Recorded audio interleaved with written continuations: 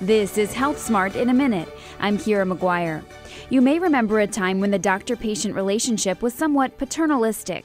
But Dr. Dennis Gingrich, the board chair of the Pennsylvania Academy of Family Physicians, says times are changing. Most patients these days are more comfortable with a partnership, and to be honest with you, that's my preference too, if the patient's good with that. Be honest with the doctor from the start of the appointment your reason for coming, your habits, your symptoms.